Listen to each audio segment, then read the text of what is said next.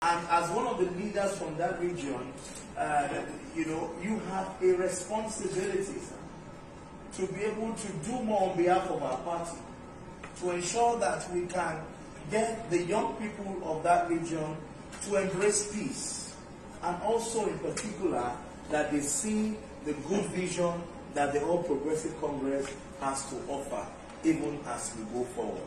I'm happy that in that region, for example, we have begin about to complete the second Niger bridge that is also and a lot of other development that the Buhari uh, Osinbajo administration is doing in southeast Nigeria. I believe, sir, that you have a, a, an, a, a strong duty to, to continue to do more to ensure that we can lift hearts and minds of our youth in that area. You have mentored many of them, you have given many of them scholarship, have created opportunities for many of them.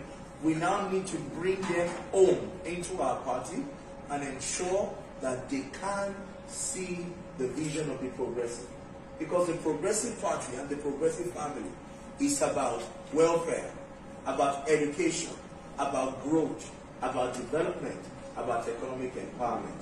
And I have no doubt that as we continue to see founding fathers of our party like yourself, you will continue to do more to help us win hearts and minds as we go into the 2023 election because that is one major mandate for us as the youth wing of the party. Thank you so much. Thank you.